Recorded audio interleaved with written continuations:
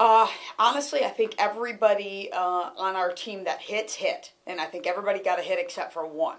Uh, so we outscored those guys uh, 27 to four um, in, a doubleheader. Um, actually, a great way for us to finish. Uh, offensively, defensively, putting everything together. Uh, there's a team that went to nationals last year. Uh, ended up getting one of their players uh, a great player for us, Sarah Ragsdale. Uh, so it was kind of nice for her to play at home and show off a little bit. Uh, great way to finish fall, uh, like I said, offensively, defensively, pitching, base running, the whole nine yards. So very, very happy with the way fall ended. I would agree with you. I would say that this is the best productive fall we've had. Wins or losses aside, even that record was pretty good. Uh, but wins or losses aside, probably the most productive fall we've had in regards to great way to start fall. I think we had a lull in the middle of fall, and we kind of kicked it up a notch. To win a championship, we need to be able to stretch a single, stretch a double out of a single. We need to uh, be able to steal second base on a changeup that the kids read from themselves and not given to me. Um, our hit and runs, our um, manufacturing uh, a, a, run and not just because of a home run. And those are things that we did last year that we haven't implemented. At the end of fall, we started implementing those things, and our and our games kind of taken off. Our ERA is the best it's been um, out of the end of fall right now. As a team, uh, five pitchers, it's a, a two point eight nine. Uh, that's fantastic. Last year, ERA was about five. So we've actually cut that in half. So uh, doing great things. Some young players are doing great things. Um, probably the best fall since Lamar softball came back our newcomers, and our newcomers always improve uh, based on the fact that they have so much to learn. Uh, and we've had a couple kids, uh, Sable Hankins, uh, who, who is a freshman player for us, went from I'm not sure how she's going to be this this fall to uh, one of our top best players. Sarah Ragsdale as a transfer, like I said, coming out of San Jacinto, she came up at the end of fall and, and kind of killed it. Um, and, and, we've had a couple kids like that do, do very very well as a team average. Uh, it was four, 409 uh, and that's pretty impressive. Uh, considering at the end of last fall, I want to say it was 289, sometimes 300.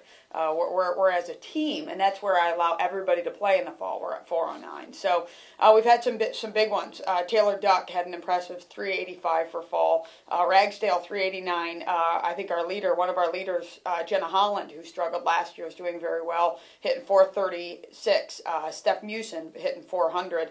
Uh, Bryn Baca 345. Casey Cromwell 545 um, uh, Sable 441.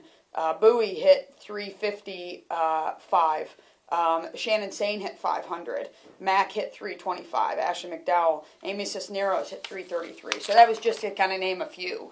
Uh, and a lot of those are newcomers. So I love to see stats. Um, I, I, don't necessarily go by stats, but at the end of the day, it's either you won or you lost, right? So very impressive stats wise and very impressive fall the more you bat doesn't mean the better you do. Uh, and, and those kids really took that opportunity to say, I'm going to work on stuff. It doesn't matter what the outcome was, but they got both. They worked on stuff, and the outcome was great. And we're playing. We're not playing the Sallies of the world this fall, and I think a lot of Division One teams do that. We played Baylor. We played LSU. Had them both beat.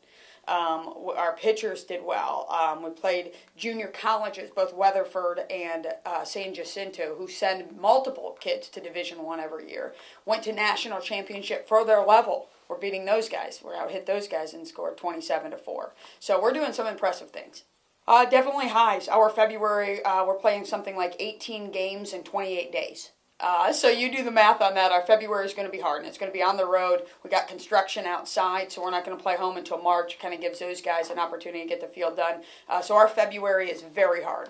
Uh, we're, we're playing um, something like 14, 15 different conferences, uh, which is very impressive. It's very fun, so you're not seeing the, the same teams time after time.